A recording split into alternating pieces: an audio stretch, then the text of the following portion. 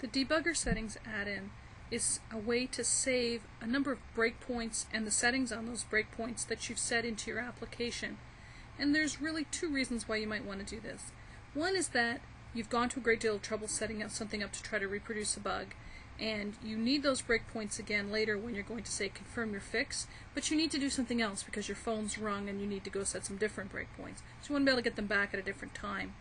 The other is that you might actually want to be able to take all of those settings about what lines and the conditions and so forth for the breakpoints and bring them onto another machine so that you can try to reproduce the bug on some other machine that has slightly different installation. It's a, a simple enough add-in to use and it's installed into this copy of Visual Studio. I have um, a small application here which has quite a few breakpoints in it. If you've never brought the breakpoints window up, it's under Debug, Windows, Breakpoints. So you can see I have quite a few of them here, and I can double click any one of them to go there, and their symbols appear in the, in the side margins. Now, this add-in was written by a developer for developers, and it works with the command window.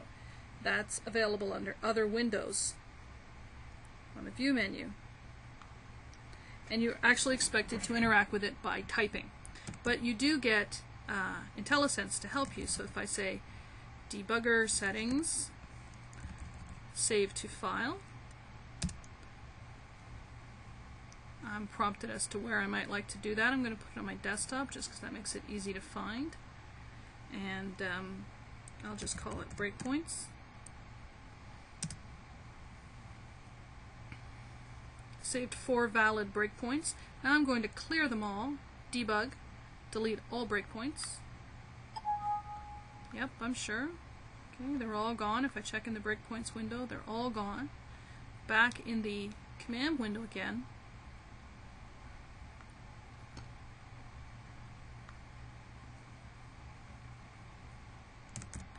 Again, I'll say debugger settings dot restore from file. There's the file. Open. Restored four breakpoints. You can see one of them has come up here. If I go into this window, there they all are. All my breakpoints have come back, including their slightly uh, tricky settings, like that they might have a condition on them and only break. Uh, this guy only breaks in the second half of his loop from 1 to 10. He only goes on uh, when, when it's greater than 6. And this one um, only every third time that it's hit. If you didn't know you could set these things on breakpoints, that's another thing that you can discovered to make you a more productive developer. But being able to just save all of your breakpoints, clear them away, do some different work, and bring them back whenever you like, or save all of your breakpoints and go over to a different machine with different um, prerequisites, different network connections, so forth and so on, and magically have all those breakpoints set in that same machine, going to make you a much more productive debugger.